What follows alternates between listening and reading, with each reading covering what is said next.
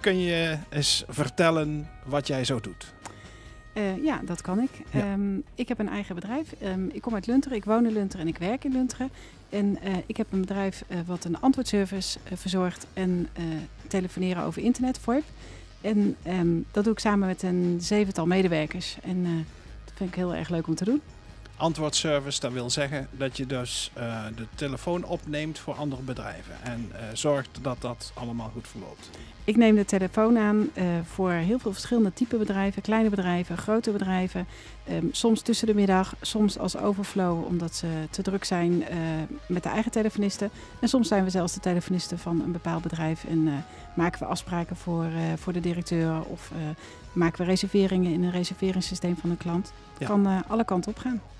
En hoe ben je daartoe gekomen? Wat is je opleiding tot, ja, totdat je dat begonnen bent? Ja, nou, ik heb eerst de MAVO gedaan uh, als, ja. uh, naar de lagere school. Daarna ben ik naar Schroeves gegaan. En daarna heb ik eigenlijk alle administratieve functies gedaan die je me voor kunt stellen. Dus telefonisten, receptionisten, secretaresse. op een gegeven moment facility manager, office manager, al dat soort zaken. Financiële administratie heb ik ook nog een aantal jaren Zo. gedaan.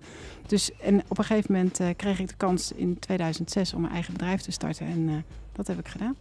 En uh, hoe is dat gebeurd dan? hoe kreeg je die kans? Nou, ik um, was op dat moment in loondienst en daar was ik facility manager. en dat bedrijf dat stopte eigenlijk mee, want de huisvesting werd nieuwbouw, woningbouw. En um, ja, het bedrijf was er nog. Dus ja, wat, wat werd daarmee gedaan? En dat heb ik toen over kunnen nemen samen met iemand anders. En uiteindelijk is, het, is daar mijn huidige bedrijf uit ontstaan. Maar een dame in de telecom, dat zie je niet veel. Nee, dat klopt. En dat maakt het ook altijd heel erg leuk. Want ja. ik mag met enige regelmaat over de techniek meepraten. Ik kan het niet zelf uitvoeren, maar ik kan er wel een aardig woordje over meepraten, ja. Ja, want de technische achtergrond, heb je die dan? Nee, ik kan het zelf echt niet uitvoeren. En het is echt autodidact, hè, zoals dat dan heet. Ja. En uh, ja, en ik vind het ook gewoon heel erg, ik vind het wel interessant, zeg maar. Ik vind het wel interessant om te weten, ik wil wel precies weten hoe het in elkaar steekt. En als ik het niet weet, dan uh, vraag ik het op kantoor aan de techneut, zoals dat dan heet. Ja, en uh, dan heb je op een gegeven moment die antwoordservice.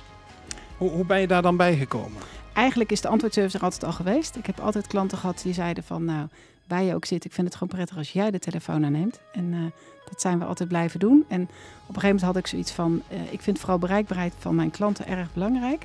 En um, aan de ene kant dus met de techniek en aan de andere kant juist met uh, de persoonlijkheid, met persoonlijke service. En ja, die combinatie zijn we gewoon verder gaan uitbreiden. Ja, en dat is ook het unieke van ons concept.